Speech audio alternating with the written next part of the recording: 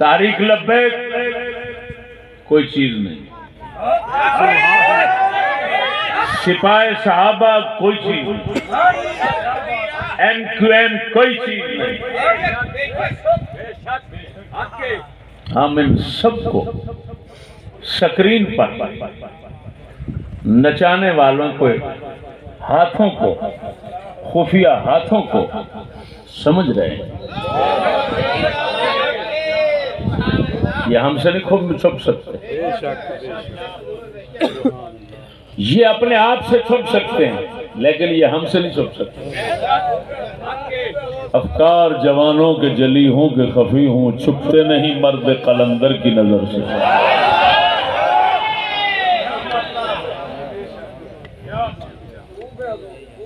ताज़ा नज़ारा मैंने देखा। लब्बैक वालों ने हमारे जलसे पे हमला किया। गालियाँ निकाली। शरपसंदी की। शरंगेजी की। कोशिश की हमें। भड़काने की मुझे गालियाँ मेरे मुँह पर निकालते रहे। किसी गाली का जवाब मैंने नहीं दिया। मैंने पुलिस को बुलाया।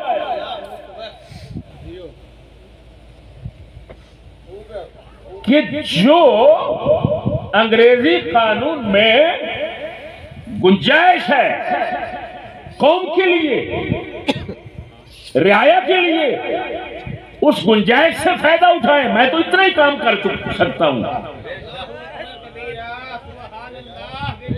हज़रत साहबजादा साहब फरमा रहे थे, हम तुमसे इस्लाम लाने का मुतालबा नहीं करते।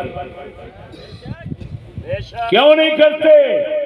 तुम्हारे दायरे कुवत से बाहर हम जानते हैं हमें यकीन है। इस्लाम लाना तुम्हारे दायरा इख्तियार में नहीं।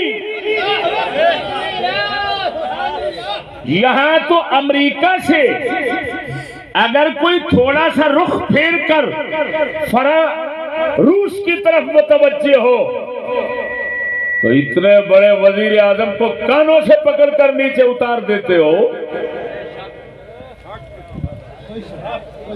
और वो गली कूचे में मारे मारे कुत्ते की तरह फिर रहा है। तो हम पागल हैं कि हम तुमसे मुतालबा करें, इस्लाम लाओ, नहीं सुन लो, महफूज कर लो।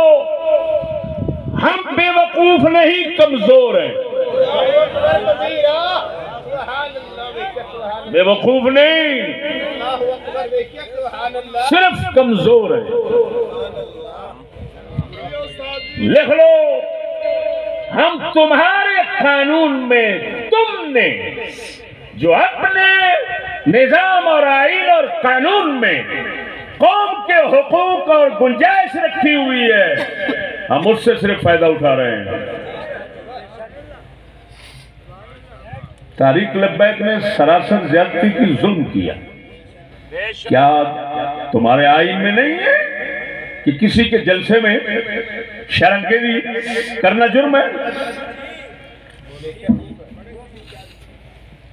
और जलसा भी मंजूरी के साथ हो रहा है। वो बगैर मंजूरी के करें, हमारा कोई बंदा ना जाए।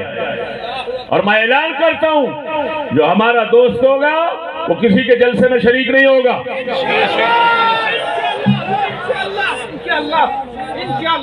मेरे हज़रत फरमाया करते थे, अगर चुप रहेंगे तो ईमान जाएगा। अगर बोलेंगे तो लड़ाई होगी। और हम लड़ाई से हज़ार हा गुरेजा हैं। तो भाई, उन्होंने सरासर ज्यादती की।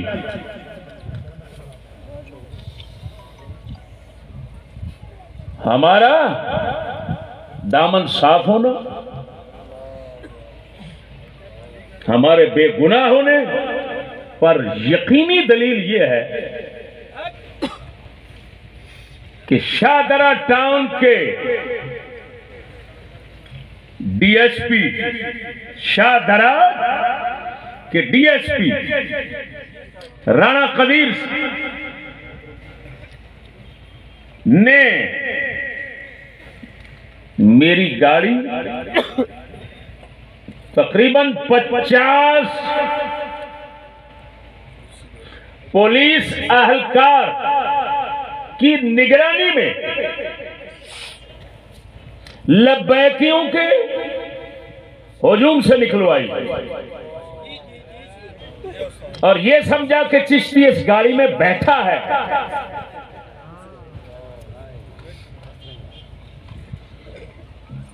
मैं हालाँकि घर में किसी के बैठा था। बेशक बेशक। तो गाड़ी पुर अमन तरीके से बाहर निकलवाना डीएसपी साहब का ये तो साफ़ बता रहा है। कि चिश्ती पर्चे का हकदार नहीं था। अगर चिश्ती पर्चे का हकदार होता तो मेरी गाड़ी खाड़े की तरफ़ ले जाते। मेरी गाड़ी घर घर पुरअमन तरीके से घर पहुँचाने के। क्या ज़रूरत भाई? इसका मतलब है, उनको एहसास था, जुर्म अगलों का है, ज्यादती अगलों की है। ये बेगुनाह बंदा है पुरअमन तरीके से गाड़ी, लेकिन अजीब बात है। जब बंदा है नाचीज मोटरसाइकिल पे एक और रास्ते से गया, और फिर रास्ते में वो मुल्ला अशरफ शाकिर जो है, उसके बेटे ने कातिलाना हमला किया, मोटरसाइकिल पे आकर, मुझे गालियाँ दी। सब कुछ किया।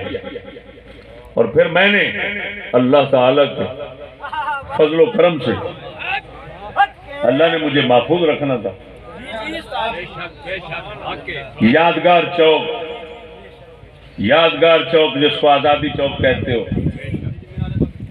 मीनार पाकिस्तान चौक में।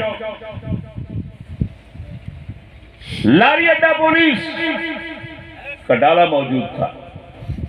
वो फ़ौरन डाला आगे आ गया वो मुझे, उसको देखकर वो भाग गए। मैं पुलिस के हाथ डाले में बैठ गया। मैंने कहा, ये मुझे मारना चाहते हैं। मैं उनके डाले में बैठ गया। वो मुझे ले गए। अजीब बात सुने। अल्लाह अकबर। अंग्रेज़ी लोग हूँ, अंग्रेज़ी सबक हो, और फिर इंसानियत की उम्मीद करे बंदा ये बेवकूफ़ है। कैसी अजीब बात है। मैं हिफाजत के लिए बैठा और मुझे हिफाजत के लिए ले गए, कहने लगे, वो आपका मसला है? मैंने कहा हाँ मेरा मसला है। बहुत मसला, हाईलाइट हो गया आपका तो। चौदह एस एच उधर है, फलान है। खैर, मुझे ले गए, बिठा दिया कमरे में, कुर्सी देकर इज़्ज़त के साथ बिठाया। बुज़ुर्ग कहते रहे, फलान कहते रहे, बाबा जी, ये वो। लेकिन जो इनका काम होता है मुझे बाबा जी बाबा जी और अंदर से पर्चा काटा काटा जा रहा है। बताओ, पर्चा काटना था हमला आबरों पर, और कभी दुनिया के किस कानून में है कि दिफा करने वाला, अपना बचाओ, करने वाला। जो गुस्सा दिलाया, इश्तेहाल दिलाया, वो वहाँ के जो जलसा कराने वाले लोग थे, मल्लेदार थे, उनको उनको गुस्सा आया, यार, कमाल है। इतना बड़ी हसीन जमील, खूबसूरत तकरीर, खिताब हो रहा था ये बयान हमारा जलसा खराब कर दिया हमारी बेइज्जती हो गई। वो तो ये सब कुछ होना था। ये तो फिक्री चीज़ है। पर्चा उधर काटना था। पर्चा मुझ पे काट दिया। अच्छा इधर चाय मंगाऊं? बाबा जी बाबा जी। ओ बाबा जी, एक लड़के ने प- ऐसे पाँव उठाया, वहाँ पर आवारा गर्दी में तीन लड़के आए हुए थे मेरे साथ ही। ऐसे पाँव उठाया तो मेरी शलवार के साथ उसके जूते की कुछ मट्टी लग गई। तो साथ खड़ा हुआ उससे लड़ता है, कहता है, शर्म नहीं आती तुझे तेन लंबा ना पा दिया अब बुज़ुर्गों मिट्टी लाई जाने। ਬਜ਼ੁਰਗਾਂ ਨੂੰ ਮਿੱਟੀ ਲੱਗਣ ਗਵਾਰਾ ਨਹੀਂ ਪਰਚਾ ਹੋ ਰਿਹਾ ਤਿਆਰੀ ਹੋ ਰਹੀ ਏ। ਜੇਲ੍ਹ ਭੇਜਣ ਦੀ। ਉਹ ਵਿਚਾਰੇ ਉਹ ਸਮਝਦੇ ਹੋਣਗੇ ਵੀ ਚਿਸ਼ਤੀ ਐਡਾ ਹੀ ਭੋਲਾ ਬੈਠਾ। ਉਹ ਮੈਂ ਕਿਹਾ ਚੱਲਿਓ ਮੈਨੂੰ 35 ਸਾਲ ਹੋ ਗਏ ਮੈਂ ਕਾਲਾ ਚਿੱਟੀਆਂ ਚਿੱਟੀ ਨੂੰ ਕਾਲੀ ਕਰਕੇ ਬੈਠਾ। 55 ਸਾਲ ਦਾ ਹੋ ਗਿਆ। ਅੱਲਾਹ ਅਕਬਰ। ਸੁਭਾਨ ਅੱਲਾਹ ਇੰਨੀ ਗੱਲ ਹੀ ਸਮਝਣੀ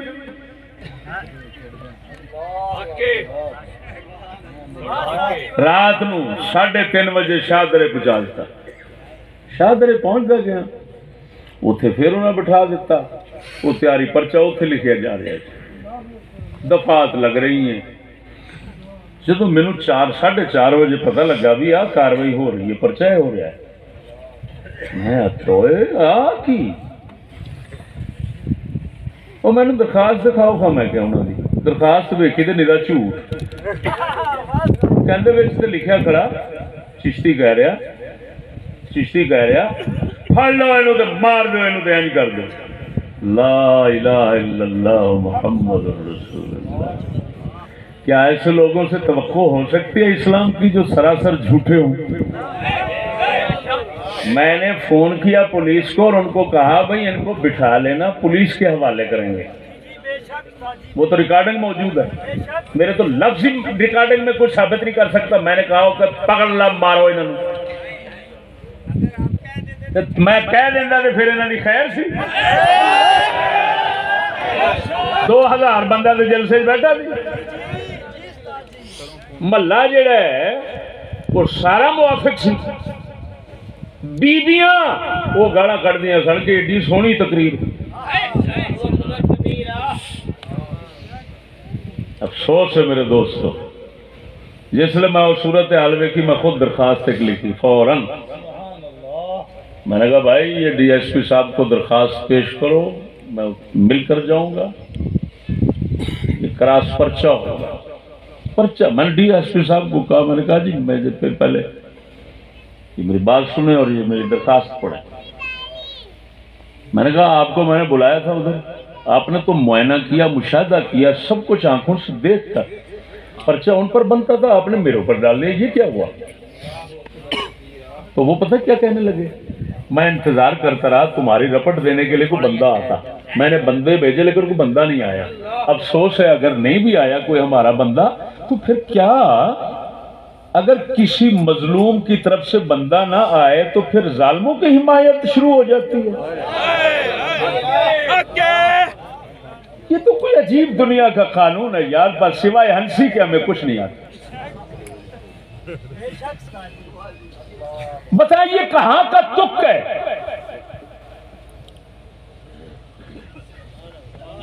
कि मजलूम की तरफ़ से अगर कोई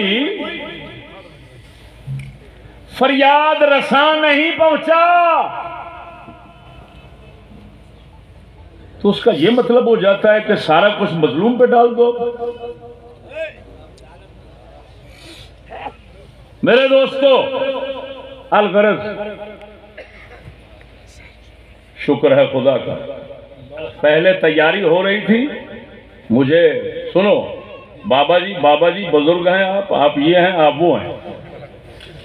ये इनको सब सबक पढ़ाया जाता है। ये हर बंदे को उसके मिजाज के मुताबिक पेश आते हैं। बाबा जी बाबा जी कह रहे थे और मैं कहता था यार मेरे पीछे लाखों दोस्त हैं। ये ना समझना यही है। पर ये तो हर घर से कोई एक बंदा दो बंदे आए होंगे।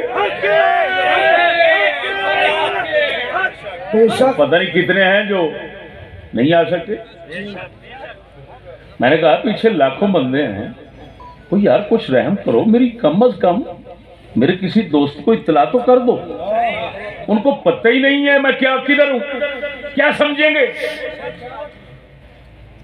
उनको इतना तरस नहीं आया, रहम नहीं आया। मैं पूछता हूँ, कौन से जुर्म की सजा दे रहे थे? बताओ। और फिर जो ही हलचल मची तो साथ ही सख्तियाँ नरमियों में बदलना शुरू हो गई। और फौरी डीएसपी साहब तशरीफ़ लाए और उन्होंने कहा, आपको बाइज्जत सुंदर भेजना है। मैं खुद छोड़ के आऊँगा। तो सुंदर छोड़ने के लिए डीएसपी साहब, राणा कदीर साहब मेरे साथ तशरीफ़ ले गए। आप जी बेटा। वालेकुम सलाम जनाब। जनाब ऐसा जी साहब अच्छा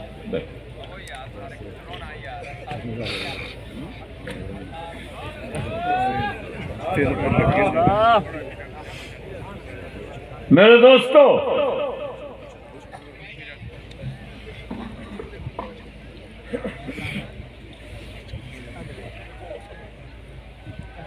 अच्छी बात है। बहुत ही अच्छी बात है। शिकवा भी हो और वो भी सामने। पीठ पीछे शिकवे का क्या मतलब?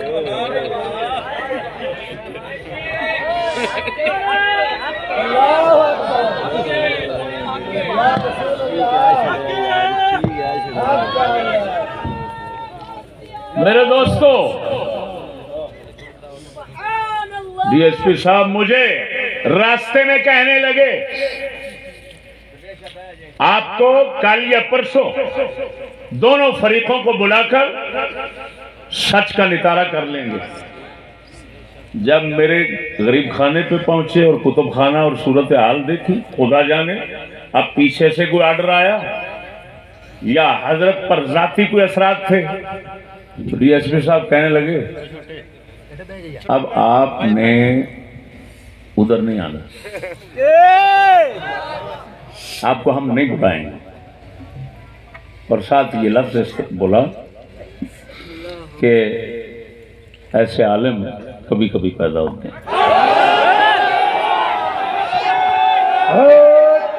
बेशक बेशक बेशक।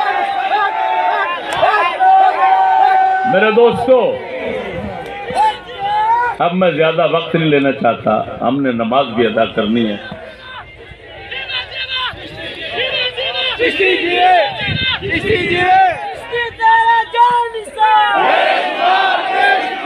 मुझे सुनिए, हमें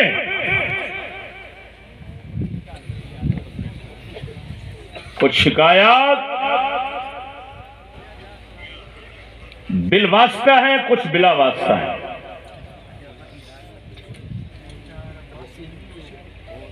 बिल वास्ता तहरीक लब्बैक के मजालिम के हवाले से।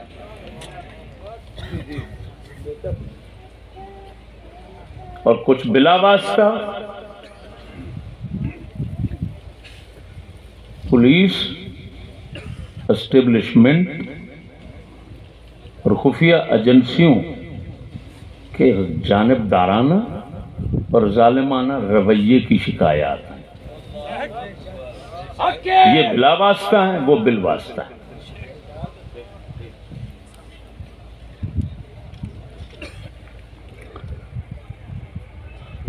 हमने कई जगह पर देखा कि पुलिस तारीख लब्बैक है दुनिया गवाह है। कत्ल किया, जलील किया, रुसवा किया ऐसा ऐसा इनके साथ उन्होंने रवैया इख्तियार किया कि हम तो यही समझते हैं कि पुलिस भूलेगी नहीं। हुकूमत भूलेगी नहीं। लेकिन फिर क्या वजह है कि साथ उनका दिया जा रहा है? हमारा साबित करें, हमने कभी नुकसान किया हो किसी का? ना जान, ना माल, ना इज़्ज़त। किसी चीज़ का नुकसान नहीं किया, ना कुछ साबित कर सकता। अगर इज़्ज़त की बात की है तो इज़्ज़त बचाने की की है। पर्दे गैरत की की है। अगर इज़्ज़त लूटने गवाने की बात की हो तो फिर बताएँ। और मेरे ख्याल में उससे बड़ा कोई अप, अपनी जान पर जुल्म करने वाला नहीं होगा कि कोई बंदा किसी के दर्द किसी के दीन और इज़्ज़त के दर्द की बात करे और वो दुश्मन समझ ले।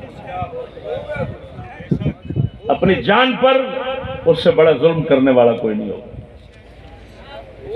मेरे दोस्तों, उन शिकायत का एक पर्चा और फिर जायज़ मुतालबात मैंने ये बनाए। ये मैंने लिखे हैं, तहरीर शुदा हैं मेरे हाथ में।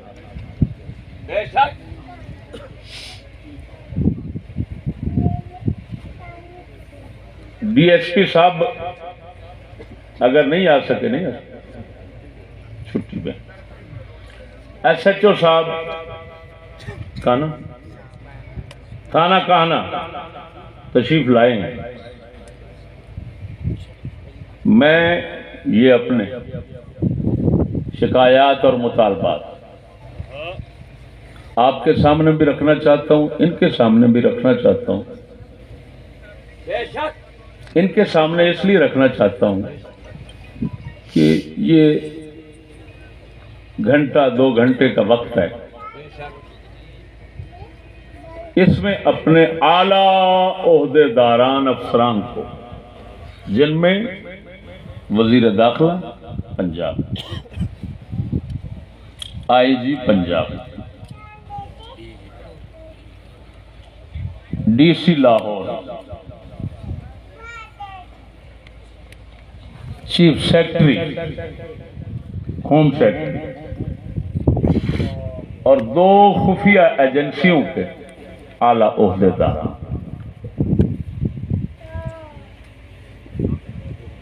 ये हजरात, उन तक हमारा ये पैगाम पहुँचाए।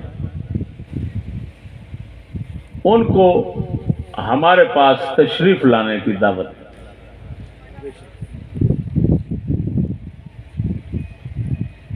अगर वो मेहरबानी करते हैं, हमारे पास तशरीफ़ लाते हैं, और इतने मजलूमों की फरियाद सुनकर इनको मुतमैन करते हैं तो एहसान मेहरबानी होगी। अगर नहीं आते तो ये इसी तरह ही इज्तम रहेगा। और फिर हम फिर हम वहाँ चले जाएँगे जहाँ ये उनके दफातर के सामने दफ, हम चले जाएँगे। इसी तरह ये इज्तम जाएगा। और आप लोगों का फ़र्ज़ बनता है जिस तरह दूसरों को तहफ़ देते हो रास्ते का हमें तहफ़ दें आप और हम अपने शिकायत साहेबों के सामने और मुतालबा। उनके दरवाजे पे बैठ के पेश करें। हम ना रास्ता रोकेंगे। वाहिद, बंदा ना चीज़ है कि जब रास्ते रोक कर सैकड़ों बंदे तड़पते, रोडों पे मार दिए गए, अरबों खरबों के माल नुकसान किए गए उस वक्त बंदा नाचीज था, जिसने जगह जगह खिताब से कुरान हदीस की रोशनी में बताया कि रास्ता रोकना हराम है हराम है हराम है।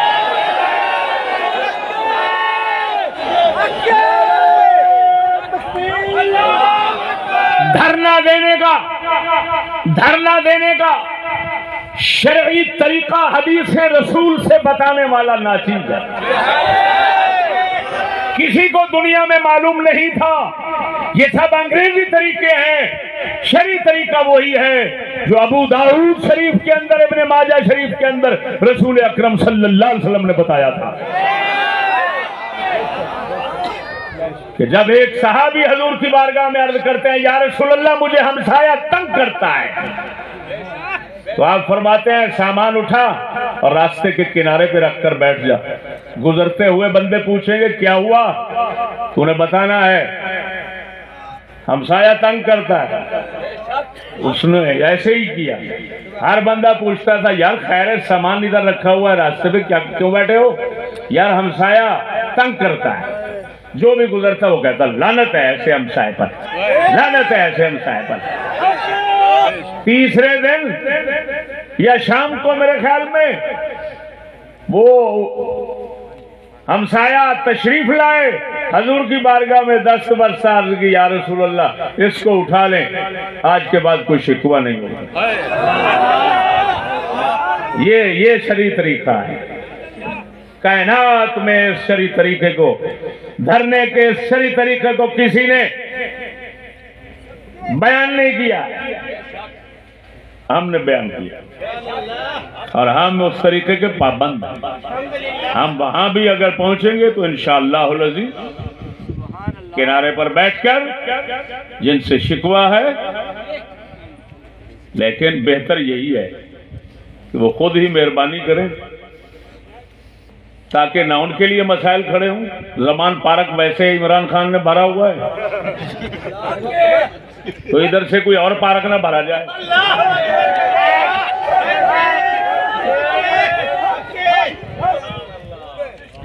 मैं मैं कुछ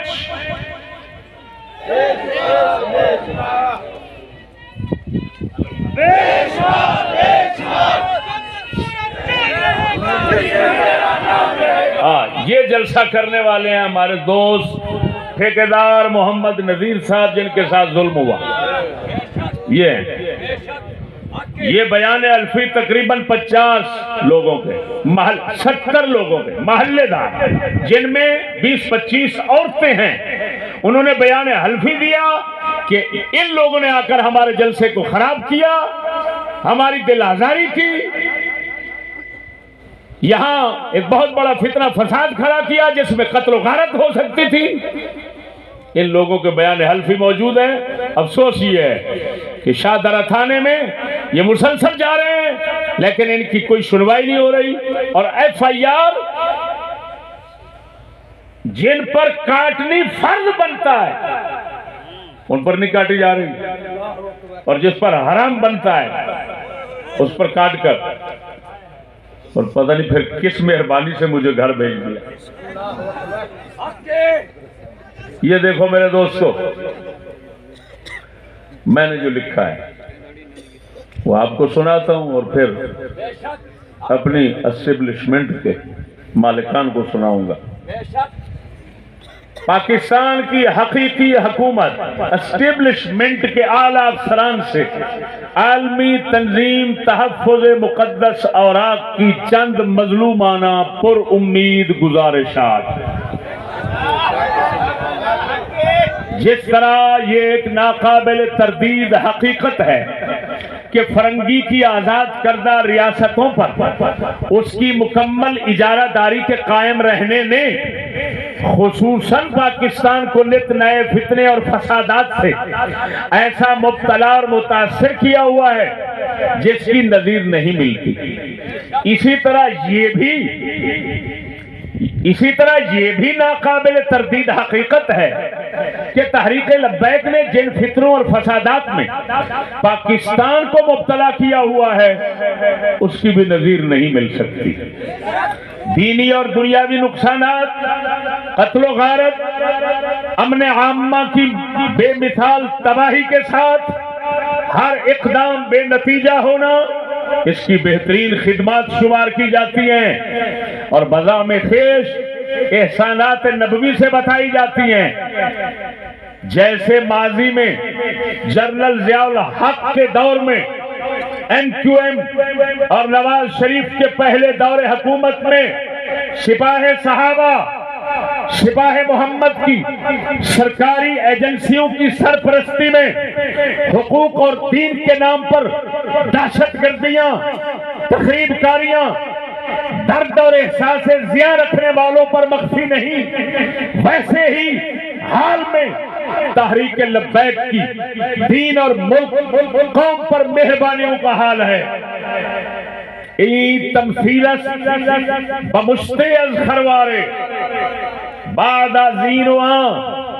एस्टेब्लिशमेंट की। उनके साथ मुकम्मल मुराद अकमल आशीर्वाद जारी और सारी होना।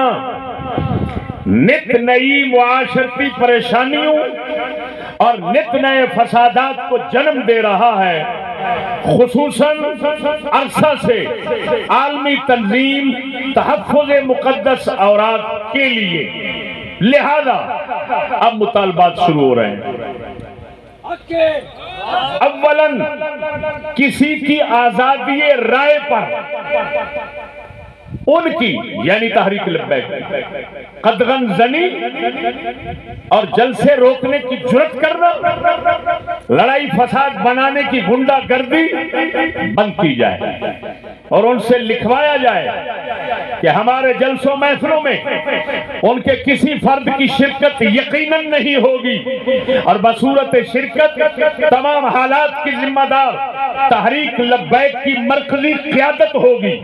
और इसी तरह हमारे किसी फर्द के साथ, उनके किसी फर्द की हंगामा आराई की सूरत में, उनके खिलाफ कानूनी कार्रवाई फ़ौरन अमल में लाई जाएगी।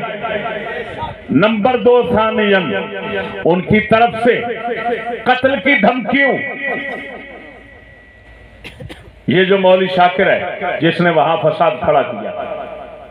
भाई नजीर, ठेकेदार साहब खड़ा हो जाओ। तुम जाकर शाकिर को जलसे से पहले समझाते रहे कि यार हमारे जलसे में खराबी ना करना। देखो। इसका मतलब है उसका पहला मनसूबाबंदी था कि यार साढ़े जलसे को खराब ना करना। जब मैंने खादिम के जनाजे पे अपने साथियों को रोका मैंने किसी को नहीं रोका। कि उसके जनाजे में जो शरीक होगा वो हमारा साथी नहीं होगा। मेरा हक है। हर किसी का हक है। कोई किसी को अपने दोस्त को जाने दे, ना जाने दे कहीं। ये आईनी हक है। मैंने रोका। मैंने उनके तो किसी साथी से नहीं कहा कि तुम ना जाना। अपने साथियों से कहा। मेरे दोस्त ने कानों से सुना। अशरफ शाकिर चौक में कह रहा था, चिश्ती इधर आया तो मैं फैर ना मारा तो अपने प्यो का नहीं। वो फैर मारने के लिए उधर आया हुआ था। इसी वजह से पहले एक, फिर दस, फिर साठ बंदा हो गया। और मैंने किसी को यूसुफ टोके ने भी यही कहा, खादम के उर्स में, सालाना उर्स में साला जलसे में, उसने कहा, और तेन जीण जोगा नहीं जान, तेरी जबान खिंच देंगे, फलान करांगे। रिकॉर्ड जीना हराम कर देंगे ये लफ्ज उनकी तरफ़ से कत्ल की धमकियों और खौफ व हिरास फैलाने पर पाबंदी लगाई जाए। हाँ ये भी हमारी गुस्सा जरफी देखें। हाँ कानूनी दायरे में रहते हुए फकत आज़ादी राय के इजहार की इजाज़त दी जाए उनको।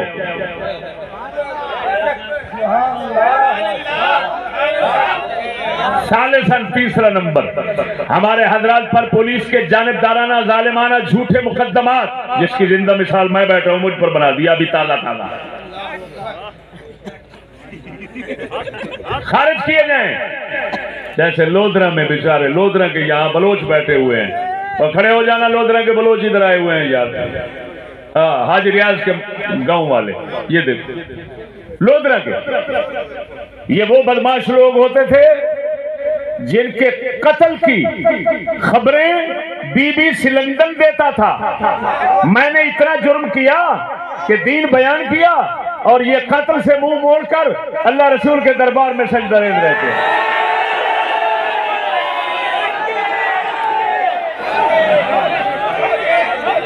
मैंने मदरसे के लड़कों को नहीं छीना। मुआशरे के बदमाशों को छीना है। ये अल्लाह का फजल है।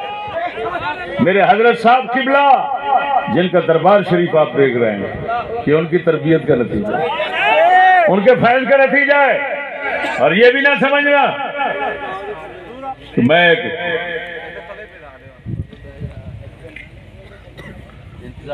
मैं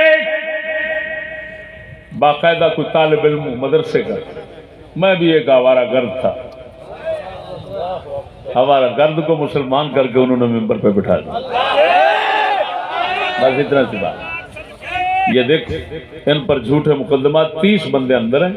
कोई वहाँ का भाभी बदमाश है? मंगले नंबरदार है। वो पुलिस को जो कहते हैं, ये गरीब है। वो उठाकर फेंक देते हैं। तीस बंदे अंदर है। किस जुर्म में? कुछ जुर्म तो बताओ। अगर इनका जुर्म साबित हो जाए, इनकी जगह मैं अंदर जाऊँगा।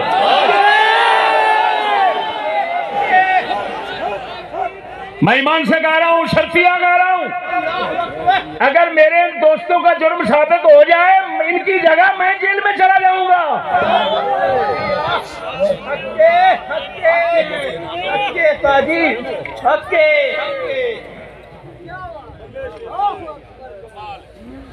और सीटीडी की तहकीकात में सबको परेशान करने की बजाय मरकजी क्यादत से रुजू किया जाए। हम बैठे हैं। अगर कोई चीज़ छुपाए तो फिर बताओ।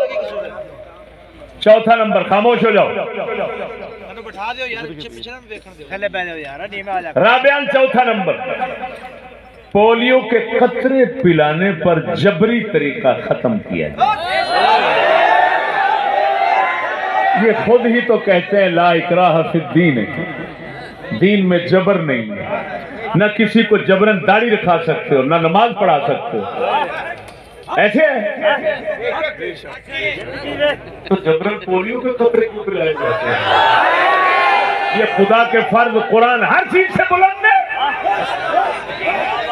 अगर कहते हो हम करते हैं, मैं बैठा हूँ, मिस्कीन। शुगर का मरीज़ हूँ ब्लड प्रेशर का मरीज़ हूँ दिल का मरीज़ हूँ कितनी बीमारियों का मरीज़ हूँ और कम अज कम मेरी दवाइयों का ठेका उठा लो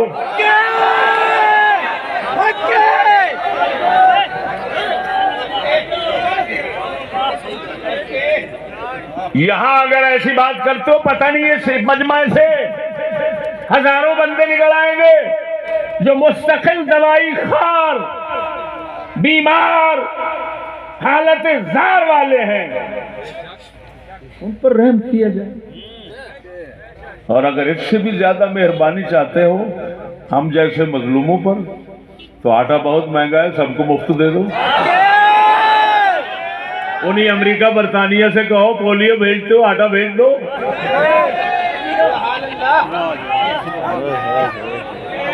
मैंने ये लिखा, पोलियो के कतरे पिलाने पर जबरी तरीका खत्म किया जाए, या फिर दलाइल के साथ हमें मुतमैन किया जाए।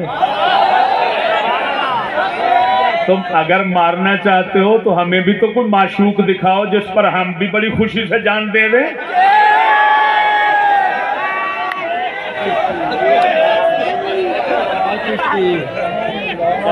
खामेसन, पांचवा नंबर। दूसरों की तरह महाफिल करने की सरकारी इजाजतों का परवाना जारी किया जाए, या फिर सबकी महाफिल बंद करने का एलामिया जारी किया जाए? वो यार कोई सखी दे दे, कोई उम्मत रही दे। इमरान खान ने पूरे मुल्क जलसे किए ने तो कर रहा है। कभी भूल के भी मंजूरी नहीं लगा असि मंजूरी भी लेने लबैक आलियांदी एमें ए एक अंगूठे भी शरारत ना पुलिस साढे सारे खर्चे तबाह करके रख देंदी लखा रुपए साढे जलसे ते लग चुके होंगे इंतज़ाम एन बार वक्त बर्बाद कर देंगे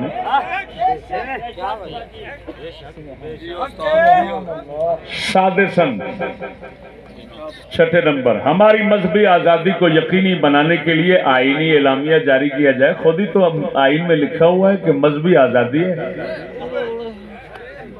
तो कम अज कम हमें भी तो वही आज़ादी दो, जो आइन में लिखी हुई है।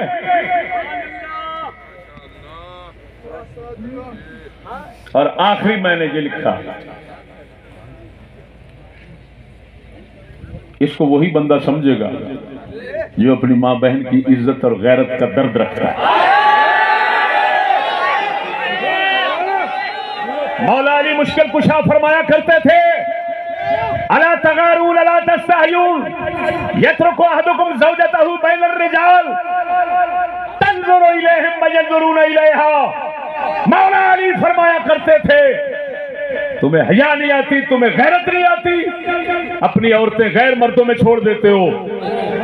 वो गैर मर्दों को देखती हैं, गैर मर्द उनको देखते हैं। तुम्हें गैरत नहीं आती, हया नहीं आता। मालूम हो या विलायत का सरदार तो हमें सबक दे गया, और मुँह अपनी घर वालियों का दिखाने वाले बेगैरत है।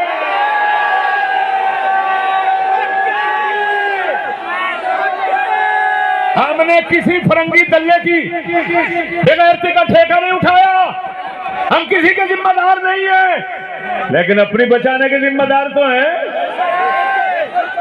तो मैंने क्या लिखा? मैंने लिखा इस्लाम के।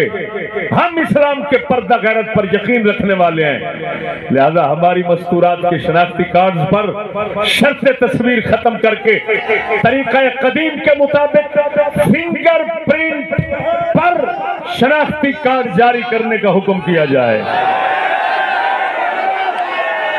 सुनो, अजीब बात है। तस्वीर चलती है, लेकिन प्रिंट ये फिंगरप्रिंट ज़रूर चलता है। क्यों? इसका मतलब है असल चीज़ ये है। बंदा बदल जाए, उम्र बदल जाए, उम्र ढल जाए। इंसान की तस्वीर हज़ारों रंग बदल लेती है। लेकिन कुदरत ने ये जो लकीरें बनाई हैं, ये नहीं बदलती। तो खुदा के बंदो, कुछ कुछ तो रहम करो हमारे ऊपर। हमारे तमाम मामला सरकारी, गैर सरकारी खसूस विरसे, विरासत के मसाइल, वो पड़े हुए हैं। हमारी कुछ बीबियों ने यहाँ तक कह दिया कि हमें कुछ रकबा मिले विरासत का या न मिले। लेकिन हम अपनी इज़्ज़त गैरों को दिखाना नहीं, गवारा करते। तो उन पर तो रहम करो। उन पर तो रहम कर लो। कोई पता नहीं। ये देखा? तुर्की कितने नाज से जी रहा था? पचास हज़ार, कोई पता नहीं कितनी। शाम का हाल देखो। इराक का अब तो खबर फैल रही है कि अब हिंदुस्तान और पाकिस्तान की बारी है। और कहते हैं कि इधर आना है उसने। कोई मेरे हज़रत साहब फरमाया करते थे, ये सदी अजाबों की सदी है।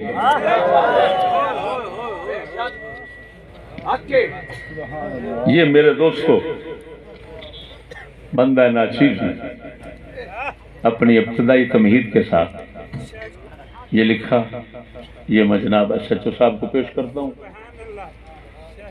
हम हम हम हम हम। इधर ही हैं। अगर आपके आला ओहदेदारान कोई मुस्बत जवाब हमें देते हैं तो फबया हमें बता देना। हम यहाँ पर बंदोबस्त कर लेंगे, उनसे मीटिंग, इजलास के लिए अगर वो नहीं आते और उनकी तब नाजुक पर ये बात गिरा गुजरती है तो फिर हम मिस्किनों को तो हमेशा मुसीबतें उठाने की आदत है। तो एक मुसीबत ये भी उठा लेंगे। लेकिन ये ना सोचना, हम मुजाहमत नहीं करेंगे, लड़ेंगे नहीं। जर्रा बराबर किसी को नुकसान नहीं देंगे। इनशाला लेकिन जिनसे शिकायत है, उनके कानून के दायरे में रहकर जहाँ तक गुंजाइश है कानून में, पहले ही बता चुका हूँ, हम उनसे ये नहीं कहेंगे, इस्लाम लॉ। क्यों? हमें पता है, वो बेचारे खुद मजबूर हैं, खुद आजिज हैं। उनके दायरा कुत में नहीं है। वो तो अमेरिका से अगर रूस की तरफ़ रुख हो जाए, कान पकड़कर बेचारा इतने लंबे को नीचे ऐसा फेंकते हैं, वो बेचारा कुत्ते की तरह गलियों में घूम रहा है। तो भाई, हम क्या अब कुत्ता बने? हम नहीं बनेंगे। सीधी सारी बात है। हमें कोई तो ऐसी नहीं। लेकिन तुम्हारे कानून आइन के अंदर जो अंग्रेज़ की तरफ़ से गुंजाइश रखी हुई है और भाई, उस गुंजाइश से तो हमें फ़ायदा लेने दो। अगर तुम्हारे आईन और कानून के खिलाफ कोई बात हो, मैं मुजरम अगर बिल्कुल मुताबिक है तो फिर रहम करना आपका फ़र्ज़ बनता है। बस, हमारी जो आप तक फरियाद थी, जो पहुंचाना था हम पहुँचा दिया। आप आगे हमें वक्त दे दें। बहुत अच्छा। बड़ी मेहर। आप आप तशरीफ़ ले जा सकते बड़ी मेहर। हाँ हम ठीक।